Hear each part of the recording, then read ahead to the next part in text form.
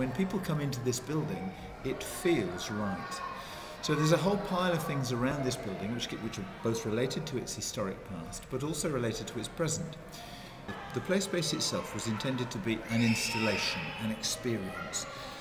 We are hoping over time to create sensory zones, light zones, sound zones within the play space so that actually what kids get is not just play, not just exhaustion, but is actually something where they come out thinking differently, seeing the world slightly differently. And to start with, we decided to go big. So we imported a 60 meter dragon, right, which was intended just to say, wow. Most kids, when they go into a play space, see the slide and go, wow. Here, they come into the space and they see a dragon and they go, ah, wow, or, and frequently they're terrified, which is okay. That's all part and parcel of what we do. What we've just done is to launch a share issue.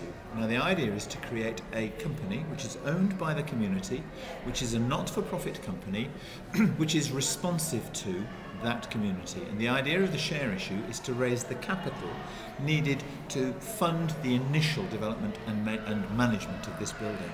Now, without that capital or without some capital, whether it's from donation, we don't care where it comes from, or from share issue, this building will fail and that's because otherwise it is undercapitalized in terms of its ability to perform.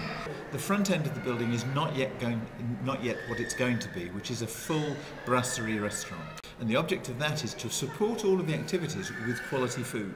Beyond that we have a gallery space which we're sitting in.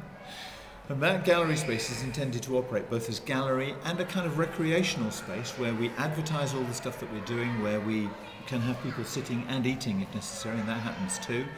And and then functions as a gallery in its own right. Beyond that, we have a large performance studio, which is both a dance studio, a drama studio, a party space, a multi-purpose space. And then adjacent to that, we have a workshop studio, which is a making studio, where you can make masks, where you can do artwork, where you can do a whole pile of visual arts creative work.